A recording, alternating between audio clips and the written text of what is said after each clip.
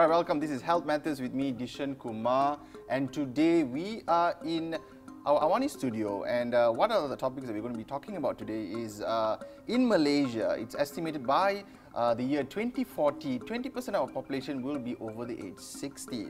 Now, this population, uh, by having an aging population, uh, what are the questions that we need to ask? So today with me we have Dato Dr. Selvam Rangasamy. Thank you, Dato, for joining us today. Thank you. Who is the president of Saham, and we are actually here to talk about healthy aging, uh, and also how uh, important is uh, for people to actually take care of themselves when they're getting older. All right, Dato. Yes. So talking about Saham, let's start off with Saham. what is Saham? Um, Saham actually we started in 2011. Uh, it's a society for healthy aging uh, and advancement of hormones.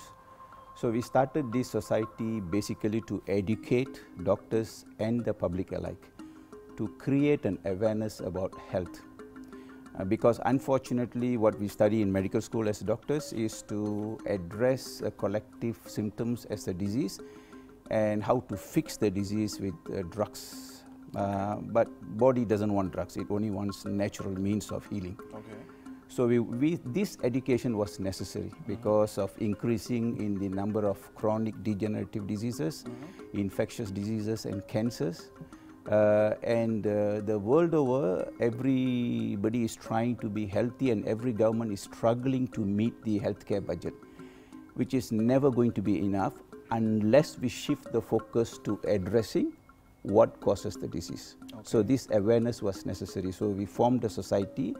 This is a non-profit organization, um, and we run conferences, and we also do certification exams for Certification exams for, for what? what for courses? doctors to certify that they have attended uh, nutritional course, uh, nutritional medicine, and um, also hormone therapy. Okay.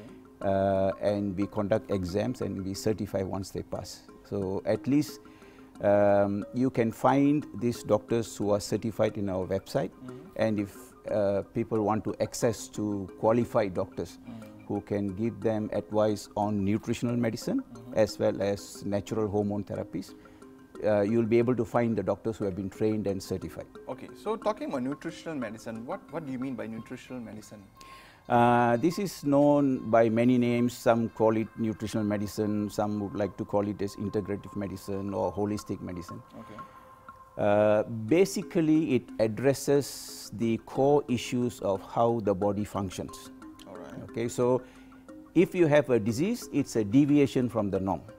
Okay. So this deviation from the norm means uh, you are deficient or sometimes even excess of one of these nutrients or it could be your hormones or it could be excess of toxins. So when we say it's nutritional medicine teaching, we address every aspect of physiology and biochemistry. So it becomes natural because the focus is only in giving the body natural nutrients, natural hormones, and detoxification all through natural means. It is not through drugs. Okay. So it's a different uh, perspective from normal medicine. Like if I have a flu, I'll go and I'll take a Panadol and, and that'll be it. I'll take a paracetamol and, and that'll be it. But what you're trying to do is you're trying to actually access why am I getting? Exactly, Dinesh. Okay. Addressing the root cause uh, defines the purpose of medical practitioners. Okay, all right. So moving on, what I said earlier was we have an aging population, Dato. So talking about health, healthy aging, so what does that consist of? Um, okay, um, in the introduction, you mentioned that you know by 2040, 40, yeah, 20% of the population. 20% of the population is going to be above 60 years old, 60. yeah. Um, so we are we want to talk about healthy aging uh, at the at 60 years of age. Actually, even before that, you know, 50. you know, Exactly. exactly. Exactly. What we are seeing is premature aging. This is very important. Okay. What we see is premature aging and early onset of all forms of chronic degenerative diseases. For example, we knew children were getting type 1 diabetes and adults were getting type 2 diabetes before. But now children who are mostly obese have the adult type of diabetes in childhood Wow. in young age or as teenagers. So there is a shift in the onset of diseases, including cancers, to a much younger age. And there is a lot of premature aging. That means, what I'm saying is, aging actually starts after the age of 25 or 30. So if So you I'm want to already quite old control, then I'm much older than you. So if you want to control aging, the earlier you start with the stronger foundation, the better you will be as the aged person. Uh, but of course, things are different as you age because your metabolism is slower, your ability to detoxify is slower, your immune system is weaker. So the sooner you address is better. So when we talk about aging population, there are some very important aspects. Uh, diet is very important, uh, sleep is important, um, exercise is important, connectivity, social connectivity, uh, you know, with family and friends. This is a very important aspect that aging people don't seem to enjoy because there is so much of loneliness and depression. So you have to address all this, and every one of these, including addressing your declining immune system, including accumulation of toxins, including acidity in the body, each one of these become a pillar of health. So it has to be addressed collectively. So you cannot just talk about diet alone, you just can't talk about uh, exercise alone. But the core difference between an aging person and a young youthful person, say you take about the age of 25 and you take a person aged 50, one of the main difference is the hormone level. At 25, you will have optimum hormones. At 50, each passing decade, you generally lose about 10% of your hormones. And hormones are, is like the fuel for your engine. They are chemical messengers and they do a lot of important functions in the body. Okay.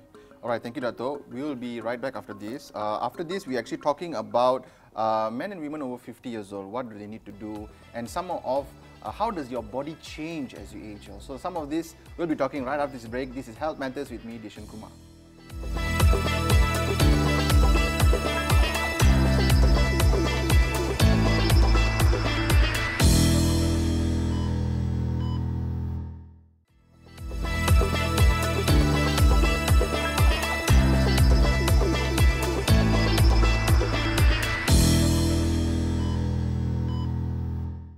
All right, welcome. This is Health Matters with me, Dishen Kumar, and today we are in our Awani studio. And uh, what are the topics that we're going to be talking about today is uh, in Malaysia, it's estimated by uh, the year 2040, 20% of our population will be over the age 60. Now, this population, uh, by having an aging population, uh, what are the questions that we need to ask? So today with me we have Dato Dr. Selvam Rangasamy. Thank you, Dato, for joining us today. Thank you, Abdul. Who is the president of Saham, and we are actually here to talk about healthy aging, uh, and also how uh, important is uh, for people to actually take care of themselves when they're getting older. All right, Dato. Yes. So talking about Saham, let's start off with Saham. what is Saham? Um, Saham actually we started in 2011. Uh, it's a society for healthy aging uh, and advancement of hormones. So we started this society basically to educate doctors and the public alike to create an awareness about health.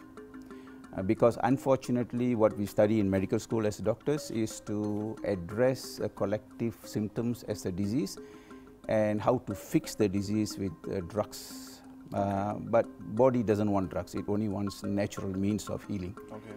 So we, we, this education was necessary because of increasing in the number of chronic degenerative diseases, infectious diseases and cancers.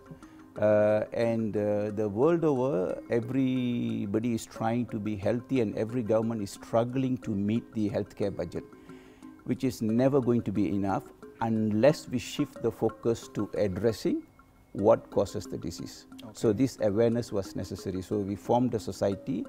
This is a non-profit organization, um, and we run conferences, and we also do certification exams for Certification exams for, for what? what for courses? doctors to certify that they have attended uh, nutritional course, uh, nutritional medicine, and um, also hormone therapy. Okay. Uh, and we conduct exams and we certify once they pass. So at least Um, you can find these doctors who are certified in our website, and if uh, people want to access to qualified doctors who can give them advice on nutritional medicine as well as natural hormone therapies, uh, you'll be able to find the doctors who have been trained and certified. Okay, so talking about nutritional medicine, what, what do you mean by nutritional medicine? Uh, this is known by many names. Some call it nutritional medicine, some would like to call it as integrative medicine or holistic medicine. Okay. Uh, basically, it addresses the core issues of how the body functions. All right. Okay, so if you have a disease, it's a deviation from the norm. Okay. So this deviation from the norm means uh, you are deficient or sometimes even excess of one of these nutrients or it could be your hormones or it could be excess of toxins. So when we say it's nutritional medicine teaching, we address every aspect of physiology and biochemistry. So it becomes natural because the focus is only in giving the body natural nutrients, natural hormones, and detoxification all through natural means. It is not through drugs. Okay. So it's a different uh, perspective from normal medicine. Like if I have a flu, I'll go and I'll take a Panadol and, and that'll be it. I'll take a paracetamol and, and that'll be it. But what you're trying to do is you're trying to actually access why am I getting? Exactly, Dinesh. Okay. Addressing the root cause uh, defines the purpose of medical practitioners. Okay, all right. So moving on, what I said earlier was we have an aging population, Dato. So talking about health, healthy aging, so what does that consist of? Um, okay, um, in the introduction, you mentioned that you know by 2040, 40, yeah, 20% of the population. 20% of the population is going to be above 60 years 60. old. Yeah. Um, so we are we want to talk about healthy aging uh, at the at 60 years of age. Actually, even before that, you know, 50. you know, Exactly. exactly. Exactly. What we are seeing is premature aging. This is very important. Okay. What we see is premature aging and early onset of all forms of chronic degenerative diseases. For example, we knew children were getting type 1 diabetes and adults were getting type 2 diabetes before. But now children who are mostly obese have the adult type of diabetes in childhood Wow. in young age or as teenagers.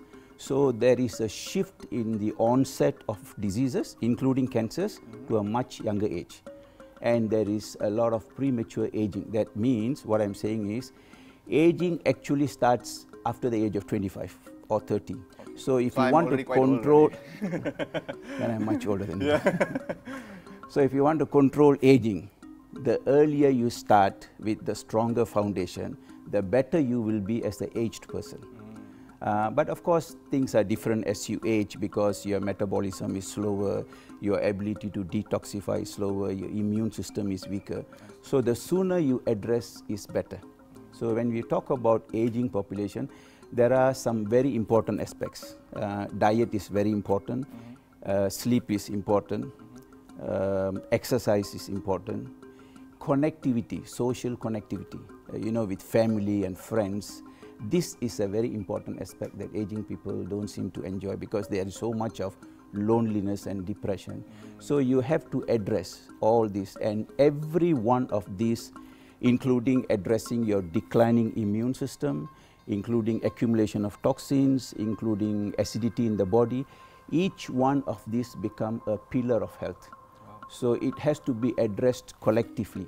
So you cannot just talk about diet alone, you just can't talk about uh, exercise alone. But the core difference between an aging person and a young youthful person, say you take about age of 25 and you take a person aged 50, one of the main difference is the hormone level. At 25, you will have optimum hormones. At 50, each passing decade, you generally lose about 10% of your hormones. And hormones are, is like the fuel for your engine. They are chemical messengers and they do a lot of important functions in the body. Okay. All right. Thank you, Dato. We will be right back after this. Uh, after this, we're actually talking about uh, men and women over 50 years old, what do they need to do? And some of uh, how does your body change as you age? So some of this we'll be talking right after this break. This is Health Matters with me, Dishen Kumar.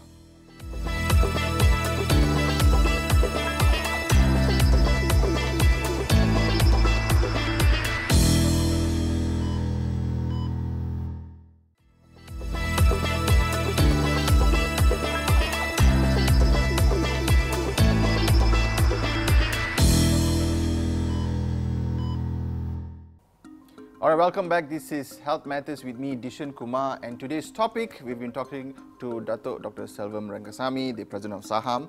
Thank you, Dato, so much. We have had a very interesting conversation. Let's move on to something we discussed earlier, actually, about treating the disease. Now, you have a very interesting opinion on this. So, uh, Dato, maybe you can share how has that changed? Uh, actually, uh, treating the disease hasn't changed, Okay. Dinesh. We have changed. Okay. Because basically our, our teaching does not address uh, the needs of a body. What the body needs is always something that is natural to the body. It is not asking for drugs. For any disease, it's not asking for drugs. Drugs are okay if you have acute emergency situations, but they do not heal. So, of course, I'll become unpopular by saying this. So, let's say, ask ourselves as doctors, what is my primary role hmm. as a doctor? Okay. I should be a healer. Hmm. And to heal, I must be able to cure or reverse the disease. Can drugs do this? You cannot. Hmm. There is no drug can cure a disease. And furthermore, the word disease itself is misunderstood. Disease does not tell you what is the root cause. It does not tell you the pathology. This is a collection of symptoms and we put a label to it. Mm-hmm. Say if you have high blood sugar, I call it diabetes. Mm. If you have high blood pressure, I call it hypertension. But the root cause is different. So in order to be a healer, that's my role, right? Okay. So first is the first principle of being a healer is I only give the body what the body wants and the body will only want natural ones. Even for hormones, you can't use synthetic hormones. Okay. We have been trained to use synthetic hormones.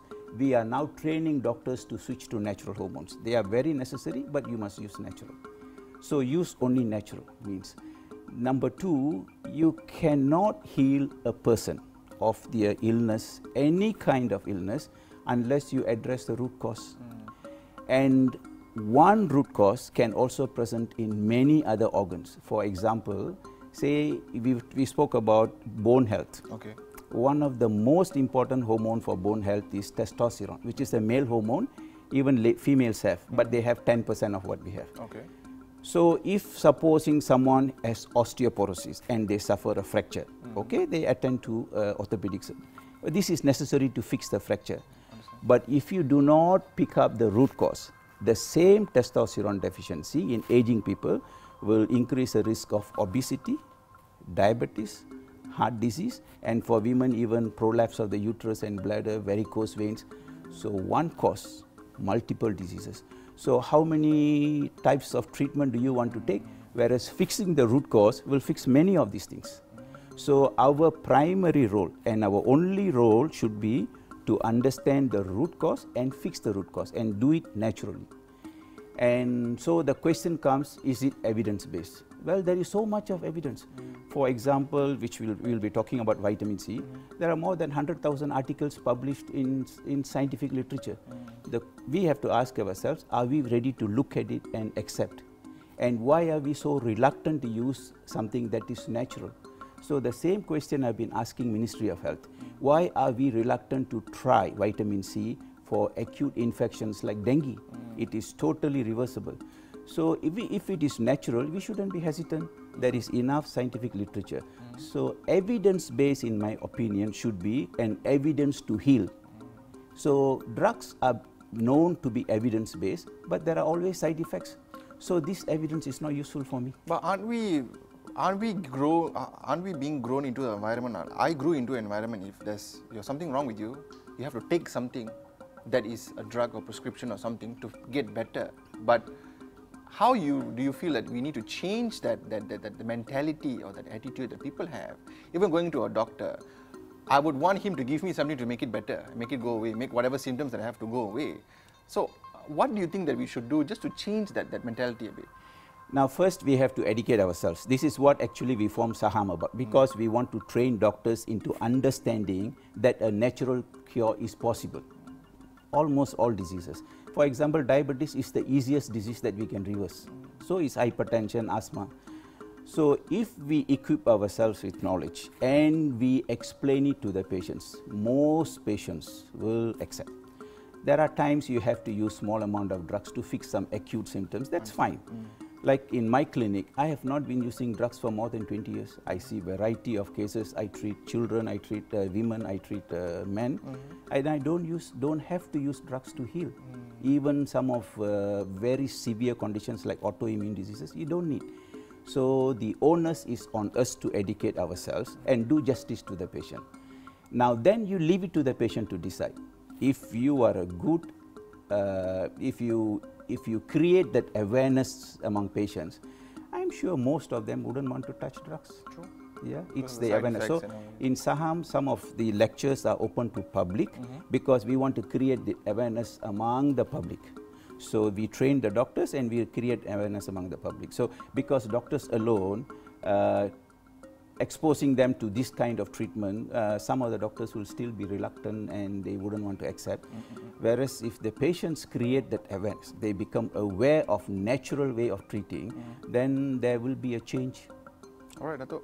Uh, talking about creating awareness, uh, I believe Saham has some uh, event schedule uh, coming up what's the event about? Um, okay, when it comes to health, that, uh, everything about health is important. Everything that is natural that the body wants is important. Vitamins are important, minerals are important, hormones are important. But there are two most important molecules. Uh, so I, I call it this way. The two most important molecules that you produce and you don't produce decides how long you live. Okay? okay. One of the home, uh, master molecule that you produce is called glutathione. Uh, of course, this is a medical term, but a lot of people know about this. This is the master molecule that every cell in our body must produce. If not, the cell will die, and disease or death, uh, disease or death will occur. So, but this uh, synthesis of glutathione is always there in all of us, but it is not enough because the diet we eat, the stress, the toxins and the pollutions depleting us. And this is the master for your immune system, master for detoxification and master antioxidant. So if you want to control about 100 types of medical disorders, you need this to optimized. Understand. So this is glutathione. So this is you produce, but we need to optimize because almost all of us are deficient, including children. Okay. One of the good reasons for cancer is deficiency in glutathione. The second most important molecule that we do not produce is vitamin C. Okay. So let me ask you a question. How often do you see animals getting cancer or dengue or chickenpox or Zika or H1N1 and on and on and yeah, on tuberculosis? Yeah. We don't get. Mm. Because animals produce their own vitamin C. Mm. Humans are not able to produce vitamin C. Mm. Now the point is if this was taught to us in medical school or we get ourselves aware of this knowledge, can't we do justice to people who are suffering cancer and infectious diseases? Yeah. So vitamin C, humans and uh, some other mammals do not produce. Okay. So if you want to live a healthy, long life, you have to optimize with vitamin C. Okay. So these two topics are specially uh, designed to be included in the June conference. Mm -hmm. We have mm-hmm. two conferences in June and September. Uh, you can check it on our website. Mm -hmm. So it's on the 22nd of June, okay. and we have invited a special speaker, one of the best in these topics from US, mm -hmm. and this is open to the public as well. Okay. And if they are free, they can attend the second day, 23rd, mm -hmm. to learn about the dangers of taking calcium and the benefits of taking magnesium. Okay. So these two days are open to the public. Okay. All right. Thank you so much for your time. And thank you for watching. This has been Health Matters with me, Dishen Kumar. If you have any questions or uh, if you have any comments, please send them to us on all our social media platforms. Please watch all our videos. I will see you in the next episode. Thank you for watching. Goodbye.